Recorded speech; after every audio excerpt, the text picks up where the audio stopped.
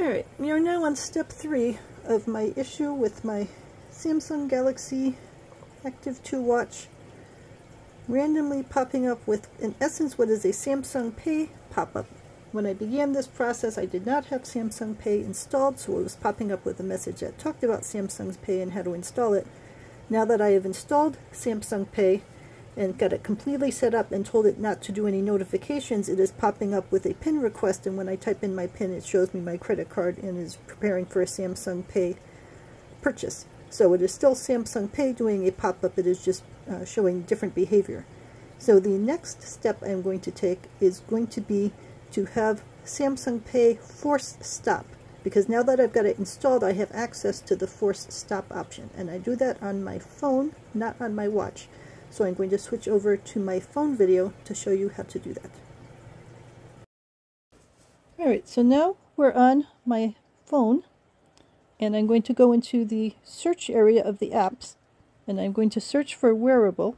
You can see it's already there because I've been using this so much. So if you don't know where the app is on your phone, you can just go to the general app area and search for wearable and be able to find the app. And when you're in the app area, it shows that I have a Galaxy Watch Active 2.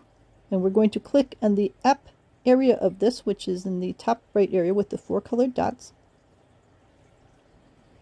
And if you scroll down a little, you should get a link to manage the app. So I'm going to click on the Manage Apps link.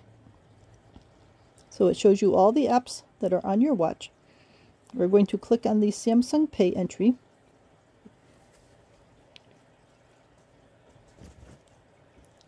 So, interestingly, it says that there's been 0% used, even though it's sitting here buzzing all the time. And then the bottom right, you can see there's a link there to force stop. So I'm going to click on force stop. It says if you force stop an app, it may cause errors. So I'm going to click on force stop again. And now, supposedly, the Samsung Pay app has been stopped on my watch. So it should not be active to do anything. This may solve the problem for some people, but for some people, depending on how it is activated, the uh, system could just activate it again and wake it back up again. So while this current iteration of Samsung Pay is not running, if there is something on your watch which is activating it, it could just activate it afresh and get it to start running again. So I will let you know how it works on my current situation on my watch.